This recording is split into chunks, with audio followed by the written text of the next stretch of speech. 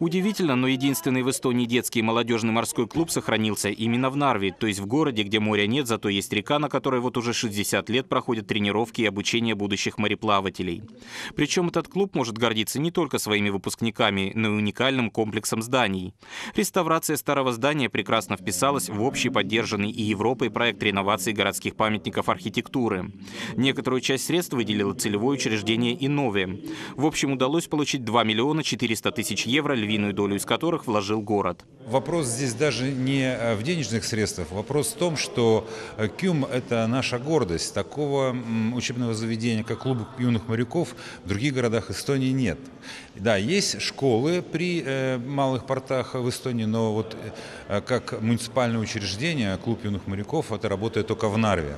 А после окончания реконструкции, конечно же, как я сказал, увеличились площади, а, увеличилось количество детей, которые сюда ходят заниматься. Во время юбилейной экскурсии по новому дому ветераны клуба вспоминали о временах, когда все начиналось в неотапливаемых даже зимой ангарах на берегу реки. А теперь в распоряжении клуба не только учебные классы, технические и вспомогательные помещения, но и самая настоящая детская судоверфь. Ведь не все хотят стать именно моряками, кому-то интересно и ремонтировать, и строить.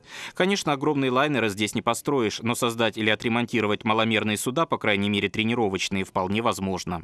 Занятие в клубе дает мне хорошую физическую подготовку, дает мне хорошее воспитание, помогает мне как-то справляться со своими проблемами. Кюм стал мне вторым домом. Весь экипаж, все курсанты стали мне второй семьей. Клуб дает хорошую дисциплину, хорошее настроение, много общения, и на будущее собираюсь поступать в Питер, в Макаровскую академию. В клубе юных моряков учатся до 300 ребят. Программа обучения рассчитана на три года. Но даже закончив постигать азы морского ремесла, через годы выпускники продолжают сюда приходить. Уже в качестве добровольцев и наставников они помогают начинающим морякам в учебе и походах. А из 15 работающих тут преподавателей 12 – выпускники КЮМа. Конечно, очень важно, что здесь с самого начала, с мая 1957 года, когда моряк и педагог Николай Калядин основал клуб, сложился прекрасный коллектив энтузиастов морского дела. И основателя здесь здесь не забывают, главным событием торжеств была международная грибная регата на Ялах на Кубок памяти Калядина. На директорском посту Николая Калядина сменил капитан дальнего плавания Вадим Тренин.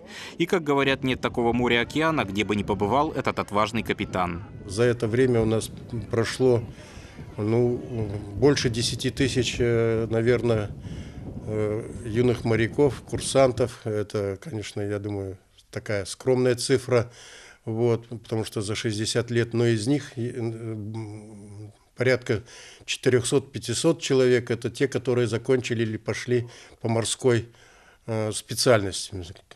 Среди них, конечно, и капитаны дальнего плавания, и старшие механики, и кораблестроители. И несмотря на нерадужную ситуацию с собственным эстонским торговым флотом, которого теперь попросту нет, и по сути развалившимся рыболовным флотом на юбилее вновь и вновь говорили о том, что любовь к морю в стране жива. А это значит, что традиции мореплавания не исчезнут. И в клубе с гордостью вспоминают своих выпускников, которые сейчас обучаются в Эстонской морской академии, а значит готовы связать свое будущее именно с морем. Сергей Дедыкин, Игорь Абрамсон, Первый Балтийский канал.